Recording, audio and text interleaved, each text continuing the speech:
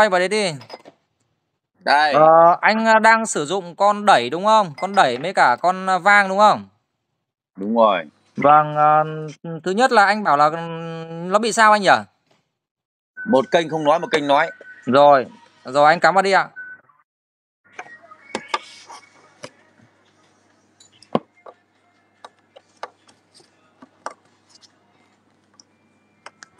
Đấy rồi anh à, bây- hiện giờ bây giờ âm thanh nó vẫn đang phát một loa rồi đúng không? Đúng rồi. À, bây giờ đằng à, sau cái con đẩy có hai cái rắc loa anh rút ra hộ em cả hai rắc ra anh rút ra hộ em cái rút một rắc một. Đây gì? Rút, vâng anh rút ra đi ạ. Đây. Còn còn kêu không? Hết rồi. Hết kêu đúng không? Bây giờ anh rút lốt cái rắc kia ra đi cầm cái rắc kia lên. Rút cái bỏ cái rắc này ra. Đây. cầm, cái- cầm cái rắc kia lên cái rắc kêu kêu. Cái đây. rắc mà em bảo anh giải thích cho anh như này nhá à, cái rắc mà nó đang kêu thì có nghĩa là cái loa và cục đẩy nó đã tốt đúng không? Cái rắc này đang kêu ở tay anh đang kêu đúng không? Ờ. Rồi anh cắm vào cái lỗ đi anh cắm vào cái lỗ đi anh cắm từng lỗ một. Có nghĩa là cái rắc đấy là đang kêu thì có nghĩa là cái rắc đấy đang tốt rồi cái loa đấy đang tốt rồi. Đây lỗ này không kêu này. Rồi lỗ này không kêu anh để nguyên cái lỗ đấy hộ em để nguyên để nguyên. Rồi anh để À. nguyên ở đấy. Vì cái rắc loa đấy đã tốt rồi để nguyên đấy đi. À, tiếp đến là bây giờ cái đường tín hiệu xuống cục đẩy từ trên con vang xuống cục đẩy nó có hai cái dây kia kìa. Anh quay đằng cục đẩy đi. Cục đẩy đấy nó có hai cái dây đấy. Anh đổi vị trí hai cái dây của em. Rút ra đổi lại. Nói này. Nói chưa? Rồi. À thế là vấn đề là ở trên con vang hiện giờ nó ra mỗi một kênh đúng không? Đúng rồi. Rồi bây giờ tiếp đến là anh lại cắm à, cái rút cái loa này ra. Rút cái ra này ra cắm cái loa kia lại. Kêu không? không. Không kêu á, không kêu thì lại à, à không, bây giờ bây giờ anh cắm lại cái loa kia xem nó kêu á, quên quên mất. Cắm cái loa lại loa kia á. kêu, Kêu kêu gì? ờ Thế thì có nghĩa là cái, cái dây loa kia của anh có vấn đề rồi. chẳng có vấn đề gì cả Không, bây giờ em giải thích cho anh là cùng một cái lỗ đấy mà cắm cái loa này kêu mà cắm cái loa kia không kêu thì cái dây của anh phải kiểm tra lại cái dây đấy rồi. đây nhá Đây không khoan từ từ từ từ, nhá từ từ em bảo anh như này nhá. Cái cái dây anh đang cắm ở đang đang cắm ở trên con đẩy kia nó có kêu không ạ? Đây là đang kêu này Đang kêu bây rút ra đi ạ, rút ra, rút Này. ra. Để nguyên đấy rút ra. Rồi cắm cái này lại. kêu luôn này Kêu không ạ? đâu rồi Kêu không ạ? Không kêu nhỉ Không kêu thì anh phải xem lại cái dây loa đi nó bị tuột đâu rồi vì cái lỗ đấy khẳng định cái lỗ đấy nó phải kêu rồi. để xem lại này Vâng, vâng, xem lại cái dây loa ở cái rắc đấy đi, rắc tụt rắc bên trong chứ nó đang kêu thì bắt buộc cái cắm cái rắc khác và nó phải kêu. Còn nếu mà nó không kêu thì là cái dây loa nó tụt. Con trai cho bố một cái tô vít này À, thưa các bác, đây là một cái video hướng dẫn một khách hàng từ xa đang à, xử lý một con đẩy lắp mấy con một con vang và bác video. bác ấy đang gặp vấn đề là ở cái chỗ là à, à, lắp lên thì hệ thống âm thanh thì có một loa kêu và một loa không kêu và vừa rồi thì sau một cái bài test thì thầy các bác thấy là theo dõi video là thấy là có một cái lỗ mà từ con đẩy nó ra đường ra loa ấy. thì cùng một cái lỗ đấy nhưng mà cắm cái loa này thì kêu mà cắm cái loa khác vào thì không kêu thì Đây có nghĩa là cái loa cái cái loa không kêu thì cái đường dây của nó có vấn đề các bác nhé. Lúc đấy mình khẳng định luôn được là đường dây nó có vấn đề. Vì cùng một lỗ mà cắm một loa kêu và một loa không kêu thì cái loa không kêu là đường dây có vấn đề. Đấy chứ không phải là do đẩy nữa. Vì cùng một cái lỗ đấy rồi mà không có lý do gì mà nó lại không kêu được. Mà không kêu là ở đây nó chỉ là do dây thôi. Do dây tín hiệu mình lắp này đây là bác khách bác đang kiểm tra dây. Đây cái nhờ em anh anh quay anh nhờ nhờ nhờ cháu nhỏ quay vào cái điện thoại và cái chỗ anh làm đi em hướng dẫn anh làm cho đây rồi anh ấy đây anh anh quay điện thoại đây. Có cái có cái cháu nhỏ là ông quay vào đi. Thì em hướng dẫn anh làm cho nó nhanh. Ok xong. Đây nhá bây giờ đầu tiên anh đấu đấu đấu đấu là em xem anh Đúng đấu rồi. nào. Đầu em xem anh đấu. Thứ nhất là ở trên cái cái cọc loa ấy, thì có một cái cái mấu. Ờ, đúng rồi anh đấu như thế là đúng đấy. Đấu như thế là đúng. Không bây giờ chưa chưa cắm vào đấy vội. Chưa cắm vào đấy vội bây giờ anh cứ cầm mỗi cái củ đấy anh cắm vào cái kia rồi thử là biết ngay sau sau khi mà cánh thử rồi thì được rồi. có tiếng chưa ạ? Có tiếng để thử cái này. Đúng rồi thì bên kia có không. Bên này cũng bên không cũng từ có. từ mình mình thử từng bước đi anh ạ. Mình thử từng bước đi á. Kêu chưa? Được rồi. Kêu rồi bây giờ anh rút cái dây này ra.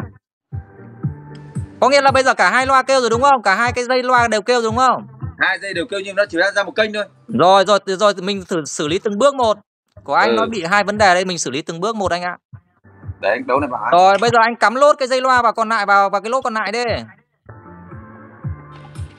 bật đến này con bật đèn in tắt được rồi Rồi bây giờ cái ờ, cái rắc ờ, rắc ca lông mà xuống cục đẩy. à, Đấy, bây giờ anh đổi vị trí. Cắm vào đi. đấy thử ra Có tiếng chưa? không Không im qua từ từ từ từ. Bây giờ một đấy đúng rồi, bây giờ rút cái rắc cái ra chuyển sang cái lỗ kia. ừ. Có này. tiếng khoan từ từ từ từ không không đừng đừng đừng làm thế em bảo. Bây giờ có tiếng cả hai bên rồi đúng không? Vừa rồi chuyển Ừ. là cả hai bên có tiếng đúng không? Bây giờ ở trên Đúng cái rồi. con vang, ở trên cái con vang. Anh xem cái, cái không không ở mặt mặt sau cơ mặt sau đừng đừng quay mặt trước, mặt sau, mặt sau. Cái dây mà anh đang cắm kìa. Cái dây mà anh đang cắm. Rút rút hai ra. Cái dây mà đang cắm đâu? đây này thế nào Không, cái dây mà xuống cục đẩy ấy, cái dây mà xuống cục đẩy anh dòng lên đi xem nó là. Rồi. Bây anh rút cái dây cái ra. Rồi. Mới vẫn đang có tiếng đúng không? Bây giờ cắm Đúng rồi. chuyển sang cái lô đây xem cái lô đây có tiếng không? không Không có tiếng bây rồi, bây giờ anh quay ra cái cái đường tín hiệu vào của anh ấy, đường tín hiệu vào. Anh đảo cái hai vị trí trắng đỏ đấy đi. có tiếng À nó thế nó lỏng dây đấy rồi. Nó giờ vấn đề là cái dây đấy đấy. sao nó nóng kiểu đấy được nhỉ nghe vô lý nhỉ Đây bây giờ từ từ khoan từ từ bây giờ cắm lại đi. Bây giờ cắm lại hai cái rác vào.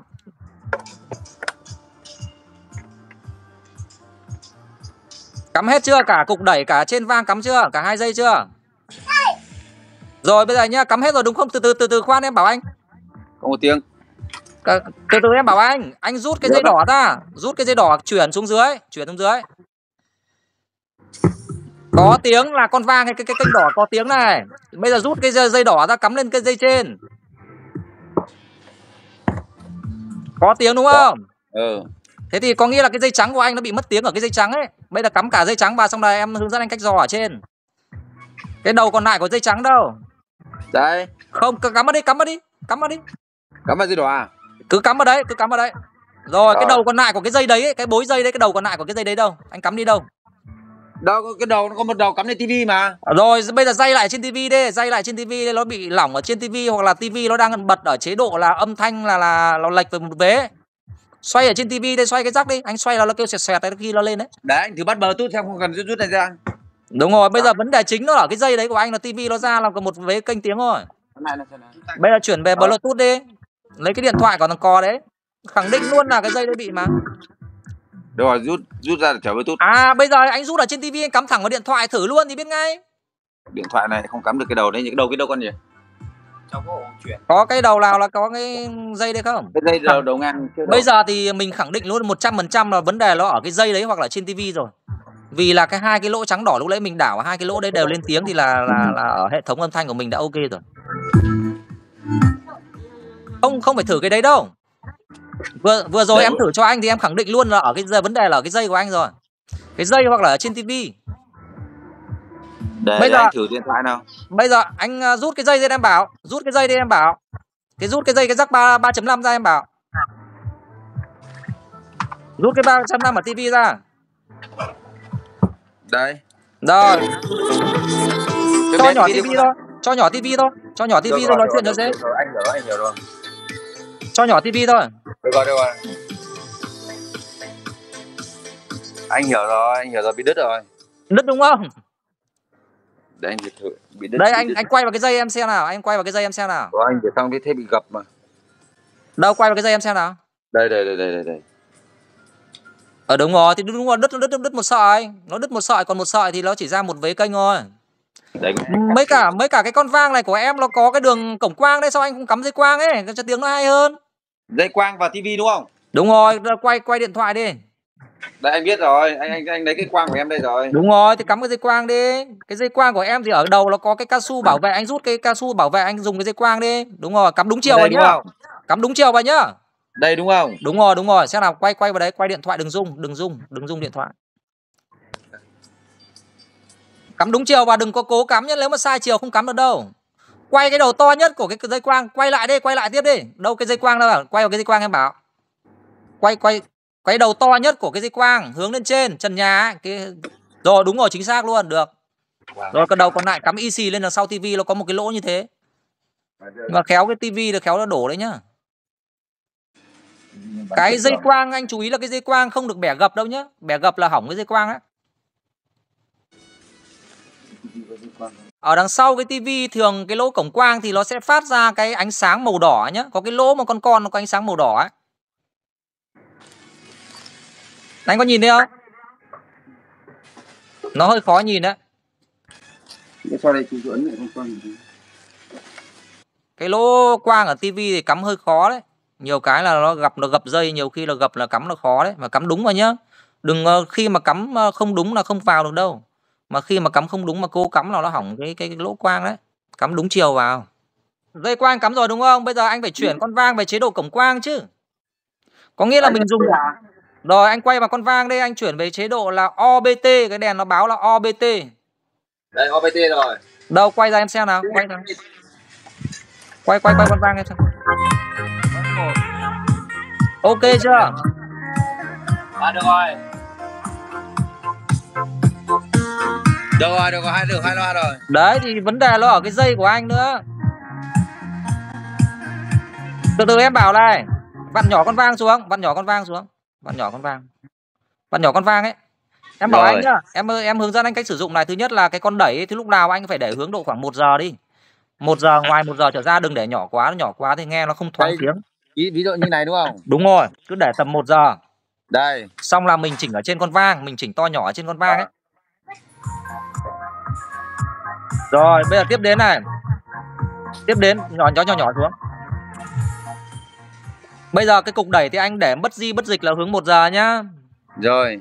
xong là đến ở trên cái con vang ấy thì cái cái phần cái phần lút đầu tiên ở bên phía tay trái lút to ấy cái lút to cơ lút to cơ Đây. cái lút to ở bên phía tay trái nó ghi là effect ấy đấy đúng cái lút đấy anh lúc nào anh phải đưa để hướng một giờ em cái đấy cái hiệu ứng tiếng mic thì mình thường là mình để hướng một giờ là, Ừ. là hát từ khoảng Rồi. 12 giờ đến 1 giờ đại loại là thế Rồi. nếu mà khi hát karaoke còn Ok. là hai hai cái bên cạnh nó ghi là mic với cả music ấy là cái âm lượng của mic với cả âm lượng của nhạc thì anh để vừa tai nghe rồi thì thôi Ừ. nhá còn những cái Rồi. áp nhỏ kia thì trong cái quá trình mình sử dụng thì mình khai thác dần thôi chứ em Check qua bảo hả? đúng rồi thì khai thác dần thì các em qua bảo qua điện thoại này thì nó khó lắm vì mình mình không nghe được trực tế thực Không, tế cái cái cái cái này thì mình biết rồi vì mình cũng có con vang mà. vâng vâng đấy Đây, đây mình có một đống này, này. rồi rồi Mình không đi chơi nữa giờ mình chơi sang dòng này mình bỏ đấy. Sợ bác ấy lắm đồ thế Ừ. Thôi được rồi, mình cảm ơn nhé. Ok rồi, để mình chuyển tiếp rồi rồi đấy có vấn đề thì ới em em ờ, ờ, giải À. quyết cho nhá Rồi ok, cảm ơn bạn. vâng vâng vâng chào bác Ờ, thì thưa các bác là vừa rồi đó là một cái video à, ngắn giới thiệu một cái bác khách từ xa À, Bác ấy có mua ở bên em là một con à, vang số chỉnh cơ dòng cao cấp của DB Acoustic mã KM330 Pro và một cục đẩy hai kênh thì uh, trong cái quá trình mà bác ấy lắp đặt thì bác ấy xảy ra cái vấn đề là bác ấy lắp vào thì hệ thống âm thanh của bác ấy nó chỉ có một vế kênh thôi. Một vế kênh hoạt động còn một vế kênh là không. Thì à, khi mà em hướng dẫn ấy bác ấy xử lý thì phát hiện ra thì thứ nhất đầu tiên đó là cái rắc uh, new chip. Bác ấy lắp uh, ra loa ấy, thì có một cái rắc là bác ấy lắp sai. Một là lắp sai cái vị trí dây điện. Hai nữa là có thể là bác ấy lắp nó lỏng nó chưa đúng. Thì nó bị mất một vế. Đầu tiên là đã mất một vế là do cái nguyên nhân đấy tiếp đến là khi mà đã đấu cái dây loa ok rồi thì lắp vào thì nó vẫn bị mất. Và cuối cùng tìm ra cái nguyên nhân là do cái rắc mà à, ba ly cái rắc mà cắm như kiểu cái rắc tai nghe mà cắm bằng sau tivi qua cái cổng ba ly cổng tai nghe ấy, thì có bác ấy là bị chuột nó cắn bị đứt một mất một sợi thì cũng là cái nguyên nhân thứ hai dẫn đến là mất một vế kênh. À, sau đó thì à, em đã hướng dẫn bác ấy là sử dụng cái dây cam quang à, cái, cái con vang này là dòng cao cấp nó có đường truyền tín hiệu quang học là truyền tín hiệu âm thanh bằng ánh sáng thì thì à, đã lắp cái dây quang và đã âm thanh đã ok. Đấy thì cái, cái cái lắp đặt cái hệ thống âm thanh này thực ra thì nó rất là đơn giản các bác nhé. Nó rất là đơn giản thôi thì nó cũng có một cái nguyên tắc chung thì mình xử lý nó từng bước một thì nó rất là đơn giản. Đấy thì à, trong cái quá trình mà các bác sử dụng những cái thiết bị âm thanh mà các bác gặp cái vấn đề gì thì các bác có thể là à, liên hệ với bên em. À, đây à, các bác sẽ liên hệ với bên em qua số điện thoại là 0988 646 683 à, 0988 646 683 đó, thì à, bên em sẽ tư vấn cũng như là hướng dẫn các bác à, từ xa. Và à, trong cái quá trình mà sử dụng những cái thiết bị điện tử âm thanh ấy, không phải không cứ là các bác phải mua hàng bên em thì bên em mới hỗ trợ hướng dẫn các bác. Mà các bác mua bất kỳ những cái đơn vị nào mà các bác mà có cần nhu cầu mà cần bên em hỗ trợ các bác thì các bác cứ gọi điện trực tiếp đến thì bên em sẽ hỗ trợ các bác và để mà hỗ trợ thì à, các bác lên à, lựa chọn một cái à, điện thoại tốt có cái camera tốt để mà quay video nó được sắc nét. Và cái đường mạng tốt để mà hai bên nói chuyện nó đàm thoại nó là trơn trơn trơn chu và nhiều khi là bên em thì ban ngày thì nhiều khi là bận việc ở cửa hàng thì cũng có thể là không không không không nói chuyện được với các bác. Thì các bác cái tầm khoảng 8 giờ tối thì các bác sẽ gọi điện bên em thì bên em thì lúc đấy là không bận ở cái việc ở cửa hàng thì bên em sẽ uh, hỗ trợ các bác nhiệt tình và không cứ là những cái thiết bị mà âm thanh mà bất kỳ những cái thiết bị điện các bác sử dụng những cái thiết bị điện ở gia đình gồm điện tử điện lạnh. Đó mà các bác gặp cái vấn đề gì mà cần sự hỗ trợ của bên em thì bên em sẽ sẵn sàng. À, vì bên em là đã được đào tạo qua trường lớp về cái lĩnh vực mà sửa chữa điện tử điện lạnh các bác nhé. Đấy thì các bác sử dụng những cái thiết bị điện tử điện lạnh điện dân dụng ở gia đình mà các bác gặp những cái sự cố gì thì à, bên em sẽ ít nhiều sẽ hỗ trợ được các bác. À, một phần nào thì các bác cứ gọi điện à, thì bên em sẵn sàng hỗ trợ các bác đó thì các bác nhắc lại cái số điện thoại của bên em đấy cái số điện thoại đây là cái số điện thoại là 0988 646 683 các bác gọi trực tiếp đến bên em sẽ hỗ trợ các bác. À, cảm ơn các bác đã theo dõi video. À, xin chào các bác.